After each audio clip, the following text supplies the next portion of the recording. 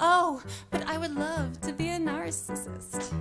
To focus on myself and nothing more. To foster an environment encouraging entitlement. Well, that's the type of life that I'd adore. To have a window seat, but still to use the armrest to push my cart down the center of the aisle. To criticize my friends, but declare that it's constructive. To rush a verdict just to end a trial. That's also illegal.